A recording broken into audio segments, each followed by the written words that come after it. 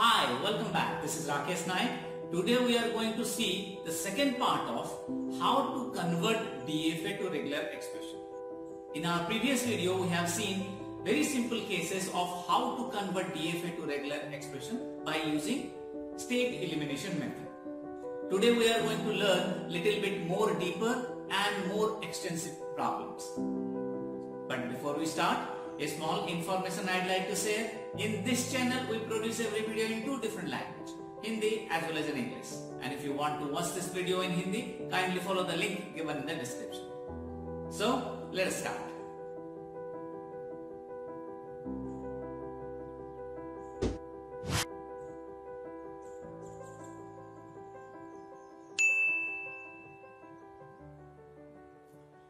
In our previous video, we have seen that in state elimination method, we want to eliminate all the intermediate states except for the initial and final state. And we want to derive a single expression from starting state to the final state, which is the required regular expression. Let us see what are the basic steps that we have understood by now. If our finite automata is of this form, then we use concatenation. If our finite automata is of this form, we use OR operation. And if our finite automata is of this type, we use Kleene closure followed by the concatenation operation. So for this the regular expression I will write 0 1. For this one it will be 0 plus 1 and for last one it will be 0 star 1. But all those things are very basic steps. While using state elimination methods, we need to remember some steps. And the first step is the initial state should not have any incoming edge. If such kind of a finite automata is there and Q naught is the initial state and we can see that there is an incoming edge to the initial state. Such kind of thing we should avoid. And instead of that, we'll create one more initial state with epsilon move and we can write it let us say qi is the initial state from qi to q naught I'll take a epsilon transition and I'll carry forward my problem solving. The second thing that I need to take care about the final state is there should not be any outgoing edges from the final state. For the same problem you can see if q1 is the final state still there is an outgoing edge from the final state. So such things supposed to be avoided. If such thing appears, then a new, if such thing appears, then a new final state with epsilon move supposed to be created. So we can have one more final state and from Q1 there will be epsilon move to the final state. And the third step that I need to remember is there should be only one final state if at all we are getting a finite automata with more than one final state, then we will be removing those final state by using epsilon move and we will try to create something like this. And after that, except the initial and final state, we need to eliminate the states one by one. Let us say this is a finite automata given and for this finite automata we want to find the regular expression. Here you can see that to the q naught is the initial state as well as the final state and you can see that there is an outgoing edge from the final state and there are incoming edge to the initial state. So after adding the epsilon transition to the initial and final state the finite automata will look like this. I have created one more state with epsilon transition to the earlier initial state and I have taken one more state which becomes the final state and from here I have taken a epsilon transition. Let us try to eliminate the state q1. So if I eliminate q1 it means from q0 to q2 there will be a single path. So in the single path the transition will be on AB. So we got this now let us try to eliminate Q4. Means from Q2 to Q0, Q4 is appearing. So I must find a transition from Q2 to Q0 as well as from Q3 to Q0 directly without Q4. Because from Q2 to Q0 there are two transitions on A and A. So after removing Q4 from Q2 to Q0, the transition will be on AA.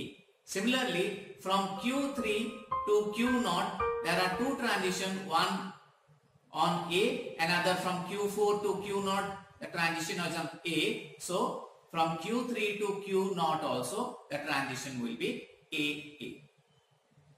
Now, let us try to eliminate state Q3. It means, I want to go from Q2 to Q0 with a single transition and you can see the path is via Q3. So if I eliminate this, the transition will be on AAA.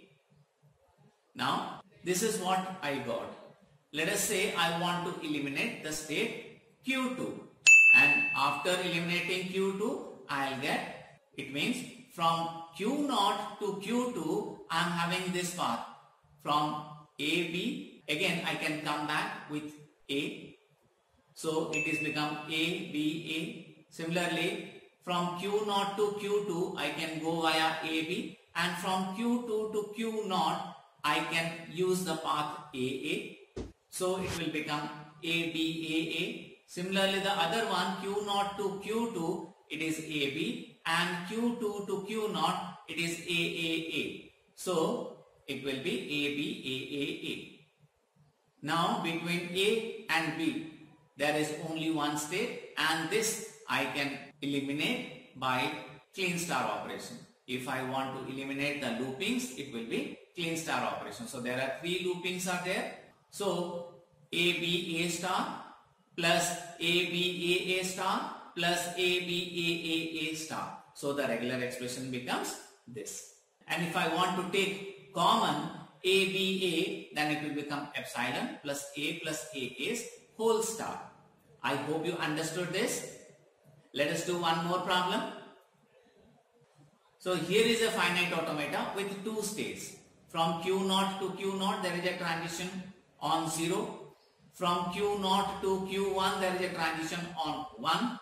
From Q1 to Q1 there is a transition on 2 and from Q1 to Q0 there is a transition on 3 there is an incoming age to the starting state. That is 3. So what I'll do? I'll try to take one more state with epsilon transition to Q0. Here you can see Q1 is the final state and there is an outgoing age from the final state also. I'll create one more state QF and from Q1 to QF I'll give a epsilon transition. Now we are ready to do state elimination method. Now if I want to eliminate state Q0. Now you can see. So I have to start from Qi and directly go to Q1. So the path will be, there is a loop here on Q0. The transition is on 0 and there is a transition from Q0 to Q1 on 1. So I can write here from Qi to Q1 the transition is 0 star 1 again and if I am at Q1 there is a transition from Q1 to Q1 via Q0. So what is that path? 3, 0 star and 1. So I can put a loop here with 3, 0 star 1. The looping over 2 will be as it is. So if I want to eliminate the loop for Q2, I can write on Q1 it will be 2 plus 3, 0 star 1. Because either from Q1 to Q1, either I can adopt this path via transition 2 or I can take the path 3, 0 star 1. So that's why the OR operation is used. Now, if I want to concate them, it will be 0 star 1 concatenated to 2 plus 3 0 star 1's whole star. I hope you understood this regular expression also. Let us take one more critical problem and do the regular expression. There are three states Q0, Q1 and Q2 and transitions are defined properly. Now you can see from Q2 to Q1 I am having A comma B. It means from Q2 to Q1 I can use transition A or B. So I can write A plus B. let us try to eliminate state Q1. So if I want to eliminate state Q1, after elimination of Q1, we have state Q0 and Q2. And we'll find all the possible path from Q0 to Q0, then Q0 to Q2, Q2 to Q0 and Q2 to Q2. And for that, what are the direct possible paths we are having? The possible paths will be Q0 to Q0, Q0 to Q2, Q2 to Q0 and Q2 to Q2. And we can write here Q0 to Q0. There is no self loop, so I can write phi. Q0 to Q2, I can have a path with transition B. Then Q2 to Q1, there is no direct edge. And from Q2 to Q2, there is no self loop. So that's why these two are also phi. Since we are going to eliminate Q1, find all the possible path from Q0 to Q2 via Q1. So we cannot ignore this state. So we need to take care of that state also. So we need to find the path from Q1 to these states. It means from Q0 to Q0 I am going but I am taking a path via Q1. This is the path Q0, Q1, Q0. So the path is Q0, Q1, Q0 and the path is nothing but AB. So what I will do now, I will take the AB and take the path and add to the existing path. Similarly, from Q0 to Q2 via Q1, the path will be Q0 to Q1 to Q2. And the transition is on AA. You can check here Q0 on A is Q1 and Q1 on A is Q2. So I will take this AA and add to the existing expression that is B. So I will get B plus AA. Now let us try to find the path from Q2 to Q0 via Q1. So the path will be Q2 to Q1 to Q0 and the expression that I will get is A plus B is concatenated to B. Now I will take this value and add to the existing expression. So I'll get here A plus B concatenated to B and which is added to phi. And the next one is Q2 to Q2 via Q1. So the path is A plus B again A. To the existing result I'll add this one and I'll get as phi plus A plus B concatenated to A. Now I got all the paths. Then what I can write? From Q0 to Q0, this is AB. Q0 to Q2, it is B plus AA. Q2 to Q2, A plus B concatenated to A. And Q2 to Q0, A plus B concatenated to B. So this is our reduced DFA and this kind of problem already we have done and we found the regular expression in this format. So try to write these data in this format.